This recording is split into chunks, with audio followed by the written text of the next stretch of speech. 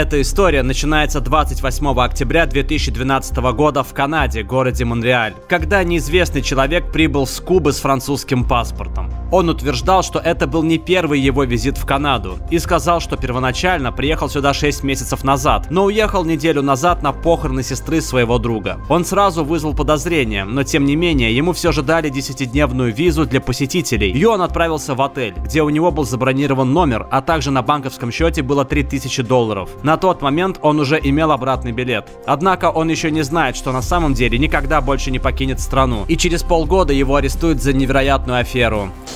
И прежде чем я продолжу, хочу спросить у вас, а знаете ли вы, что стоимость гаджета не гарантия его надежности и удобства? И так везде. Например, классные наушники можно купить в 4 раза дешевле популярных Apple AirPods. Вот вам CG Pods от тюменской компании Case Guru. Количество функций в разы больше, чем у яблок. Главное это влагозащита. CG Pods можно мыть под краном и даже в душе, от пыли, пота и после тренировки. Еще радует то, что у них отличный звук и автономность 20 часов. Заряжаются они в оригинальных кейсах. К слову, у CG Pods Lite самый маленький в мире кейс антистресс с магическим щелчком крышки. Как коробочка для кольца, девушки в восторге. А кейс CG Pods 5.0 из авиационного алюминия и выдерживает до 220 кг. У модели 5.0 сенсорные, а у Lite механические кнопки управления прямо с наушников. Доступно 11 команд. Продаются они в белом и черном цвете и благодаря конструкции отлично сидят в ушах. Тюменские CG Pods уже вошли в топ-5 наушников России. Купить их можно только онлайн, 3500 рублей. Честная прямая цена, без конских российских наценок сетевых гигантов. Производитель дает год гарантии, а если что, просто обмен на новые без ремонта. Ссылка на официальный магазин производителя и код DITOP101 на скидку 200 рублей в описании.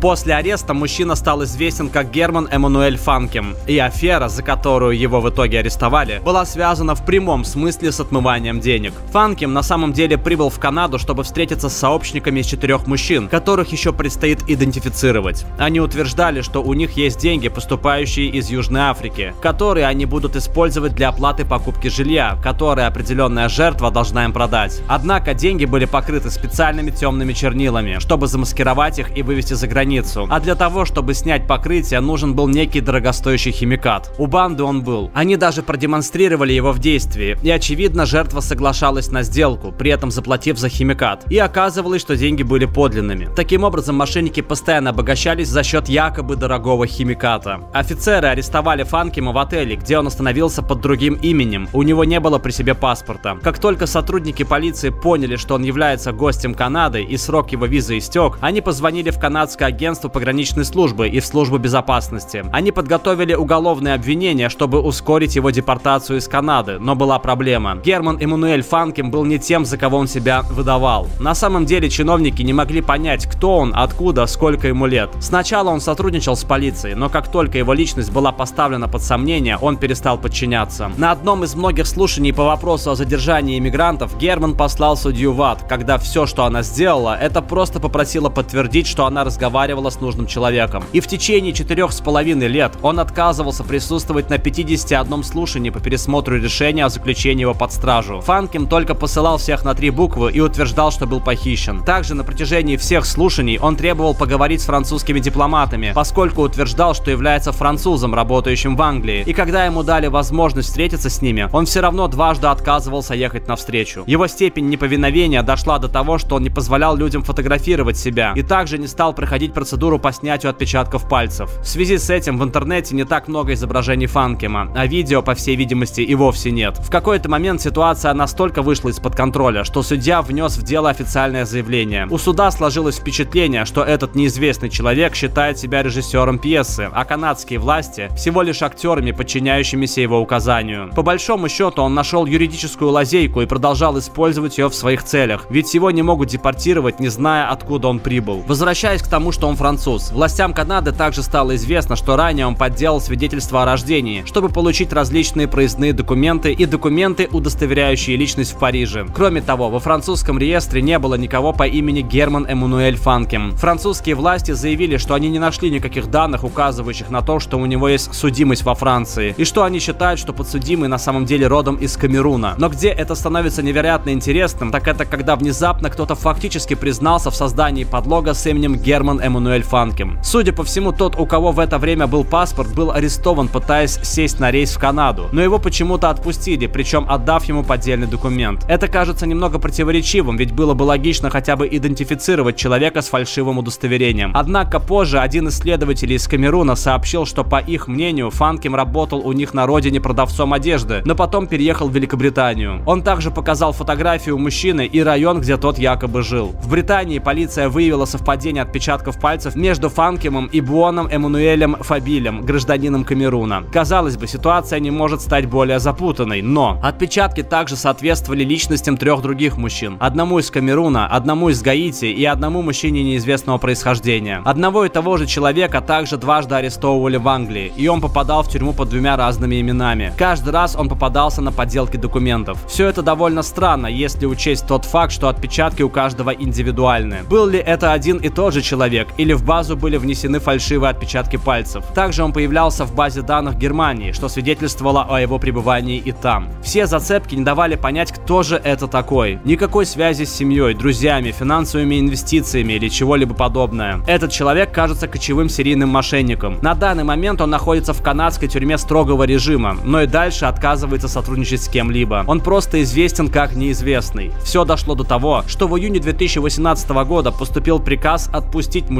потому что всем просто надоела ситуация. Очевидно, что надоело не самый сильный аргумент, когда речь идет об освобождении преступников, поэтому Герман и дальше находится за решеткой. Но внезапно в 2019 все детали этого дела стали закрытыми от публики. Объяснили это таким образом, что якобы адвокат заключенного обеспокоен, что тот может раскрыть информацию, которая способна нанести вред его собственному делу. Но такой ход событий понравился не всем, СМИ в том числе. Новостные порталы начали ссылаться на то, что дело заключенного слушается иммиграционным отделом по делам иммиграции и беженцев, где по закону слушания должны быть открытыми для общественности, как и судебные процессы. Одна из основных теорий, что же это за личность, заключается в том, что он своего рода шпион. Однако главным контраргументом является тот факт, что шпионы, вероятно, не участвуют в подобном мошенничестве. Но и в целом остаются и другие нераскрытые вопросы. Как он вообще смог вернуть поддельный паспорт, когда он был арестован во Франции? Почему его отпустили? Непонятно, имеет ли он на самом деле хоть какую-то связь с Камеруном. Некоторые опираются на этот факт и полагают, что у него и вовсе нет никаких официальных документов, что довольно-таки распространено в бедных странах. Также много теорий о том, что за свою жизнь он успел обмануть каких-то важных шишек в преступном мире. И, возможно, находясь в канадской тюрьме, он избегает куда более плохого наказания. Или, по крайней мере, у него есть крыша над головой в Канаде, хоть и за решеткой, но это лучше, чем жить на улице в Камеруне.